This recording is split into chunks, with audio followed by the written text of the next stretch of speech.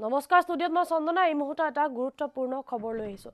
প্ৰচণ্ড শীতে কঁপাব অসমৰ লগতে উত্তৰ পূৰ্বাঞ্চল উত্তৰ পূৰ্বাঞ্চলৰ কেইবাখনো ৰাজ্যত হ'ব প্ৰচণ্ড বৰষুণ। বতৰ বিজ্ঞান সংস্থাৰ তৰফৰ পৰা এই ভৱিষ্যতবাণী কৰা হৈছে। এই মুহূৰ্তত এটা গুৰুত্বপূৰ্ণ খবৰ আমি জনাই আছোঁ ঈশান নিউজৰ দৰ্শকসকলক। আৰু প্ৰচণ্ড শীতে কঁপাব অসম তথা উত্তৰ পূৰ্বাঞ্চল। অসমৰ লগতে উত্তৰ পূৰ্বাঞ্চলৰ কেইবাখনো ৰাজ্যত হ'ব প্ৰবল বৰষুণ। ভাৰতীয় বতৰ বিজ্ঞান সংস্থাৰ ভৱিষ্যতবাণী ডিচেম্বৰৰ প্ৰথম সপ্তাহত শেষত। কেব প্ৰবল বৰষুণৰ সম্ভাৱনা অসম মেঘালয় নাগালেণ্ড অৰুণাচল মণিপুৰত হ'ব প্ৰবল বৰষুণ। পাঁচ ছয় ডিচেম্বৰত অসম তথা উত্তৰ পূৰ্বাঞ্চলত বৰষুণৰ সম্ভাৱনা। আই এম ডি আৰু D G M doctor Mrityunjay মহাপাত্ৰই দাবী কৰিছে সদৰি কৰিছে এই তথ্য। এটা গুৰুত্বপূৰ্ণ খবৰ আমি জনাই আছোঁ ঈশা নিজৰ দৰ্শকসকলৰ বাবে এই মুহূৰ্তত।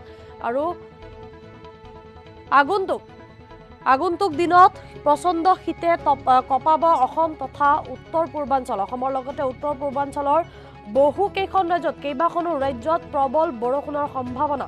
ভাৰতীয় বতৰ বিজ্ঞান সংস্থাৰ তৰফৰ পৰা এই ভৱিষ্যতবাণী প্ৰকাশ কৰা হৈছে। ডিচেম্বৰৰ প্ৰথম সপ্তাহৰ শেষত প্ৰবল বৰষুণৰ সম্ভাৱনা। অসম মেঘালয় নাগালেণ্ড অৰুণাচল মণিপুৰত হ'ব প্ৰবল বৰষুণ। পাঁচ ছয় ডিচেম্বৰত অসম তথা উত্তৰ পূৰ্বাঞ্চলত বৰষুণৰ সম্ভাৱনা বুলি হ'ব বুলি তেওঁলোকে এই তথ্য প্ৰকাশ কৰিছে।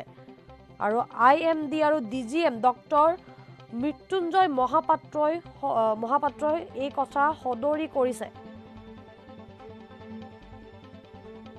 এই মুহূৰ্তত এটা গুৰুত্বপূৰ্ণ খবৰ আমি জনাই আছোঁ আৰু প্ৰচণ্ড শীতে কঁপাব অসম তথা উত্তৰ পূৰ্বাঞ্চল। উত্তৰ পূৰ্বৰ কেইবাখনো ৰাজ্যত প্ৰবল বৃষ্টিপাত হ'ব বুলি এনে এনেধৰণৰ এক খবৰ ইতিমধ্যে প্ৰকাশ পাইছে। ভাৰতীয় বতৰ বিজ্ঞান সংস্থাৰ তৰফৰ পৰা এই সতৰ্কবাণী এই ভৱিষ্যতবাণী জাৰি কৰা হৈছে।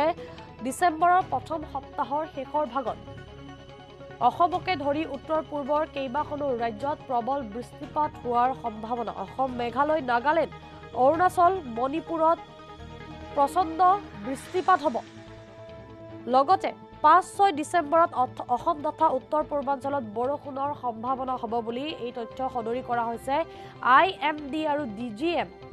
Doctor Mrityunjay মহাপাত্ৰই এই তথ্য সদৰি কৰিছে। উত্তৰ পূৰ্বাঞ্চলক লৈ বতৰৰ ক্ষেত্ৰত কিছু তথ্য তেওঁ সদৰি কৰিছে যে আগন্তুক কিছুদিনত অসমৰ লগতে উত্তৰ পূৰ্বৰ কেইবাখনো ৰাজ্যত প্ৰবল বৃষ্টিপাত হোৱাৰ সম্ভাৱনা আছে বুলি তেওঁ ভৱিষ্যতবাণী কৰিছে। সতৰ্ক ইতিমধ্যে জাৰি কৰিছে। ডিচেম্বৰৰ প্ৰথম সপ্তাহৰ শেষত প্ৰবল বৰষুণৰ সম্ভাৱনা। ইয়াৰ পূৰ্বেও বতৰ বিজ্ঞান কেন্দ্ৰৰ তৰফৰ পৰা সতৰ্কবাণী জাৰি কৰা হৈছিল। ডাঠ কুঁৱলী ঘন কুঁৱলীৰ বাবে সতৰ্কবাণী জাৰি কৰা হৈছিল। যান বাহন ভালকৈ চলাবলৈ আহ্বান জনোৱা হৈছে। ইতিমধ্যে জি পি সিঙেও এই কথা টুইটযোগে সদৰি কৰিছিল। তাৰ পাছতে বতৰ বিজ্ঞান কেন্দ্ৰৰ তৰফৰ পৰা ভাৰতীয় বতৰ বিজ্ঞান সংস্থাৰ তৰফৰ পৰা অন্য এটা সতৰ্কবাণী জাৰি কৰা হৈছে যে প্ৰচণ্ড শীতে কঁপাব অসম তথা উত্তৰ পূৰ্বাঞ্চল। অসমৰ লগতে উত্তৰ পূৰ্বৰ কেইবাখনো ৰাজ্যত প্ৰবল বৰষুণ হোৱাৰ সম্ভাৱনা। ডিচেম্বৰৰ প্ৰথম সপ্তাহৰ শেষত প্ৰবল বৰষুণৰ সম্ভাৱনা। অসম মেঘালয় নাগালেণ্ড অৰুণাচল মণিপুৰত হ'ব প্ৰবল বৰষুণ। পাঁচ ছয় ডিচেম্বৰত অসম তথা উত্তৰ পূৰ্বাঞ্চলত বৰষুণৰ সম্ভাৱনা। আই এম ডি আৰু D G M doctor Mrityunjay মহাপাত্ৰই এই তথ্য সদৰি কৰিছে আৰু আগন্তুক কেইবাটা আগন্তুক দিনকেইটাত অসমৰ লগতে উত্তৰ পূৰ্বাঞ্চলৰ বহুকেইখন ৰাজ্যত প্ৰবল বৃষ্টিপাত হ'ব বুলি ভাৰতীয় বতৰ বিজ্ঞান সংস্থাৰ তৰফৰ পৰা এই কথা সদৰি কৰা হৈছে।